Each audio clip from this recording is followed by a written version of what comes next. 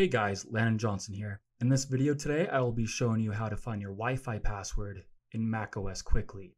This is useful when someone asks what the password is to your Wi-Fi and you're not sure. Now saying that, let's begin.